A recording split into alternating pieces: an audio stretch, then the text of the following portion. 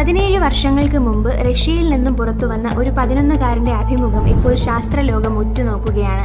ആയിരക്കണക്കിന് വർഷങ്ങൾക്ക് മുമ്പ് താൻ ചൊവ്വയിൽ ജീവിച്ചതാണെന്നാണ് ആ ബാലൻ അവകാശപ്പെട്ടത്.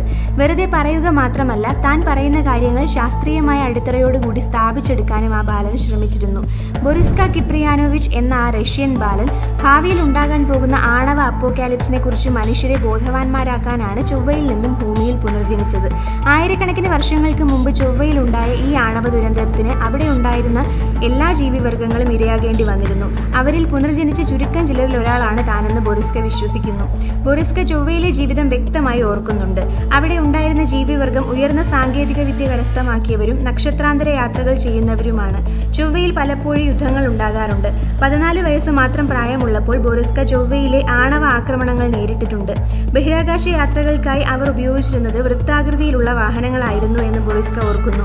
അതുകൂടാതെ ഭൂമിയിലെ ജീവൻ നിരീക്ഷിക്കാനായി ത്രികോണാകൃതിയിലുള്ള പേടകങ്ങളും അവരുടെ പക്കലുണ്ടായിരുന്നു. ഒരു പതിനൊന്നുകാരന് ഉണ്ടായേക്കാവുന്നതിനപ്പുറമുള്ള അറിവുകൾ ബൊറിസ്കയ്ക്ക് ഉണ്ടായിരുന്നു എന്നത് ശരിയാണ്. അവന്റെ വിചിത്രവാദങ്ങൾ എന്നാലും ലോകം കണ്ണടച്ച് വിശ്വസിച്ചിരുന്നില്ല.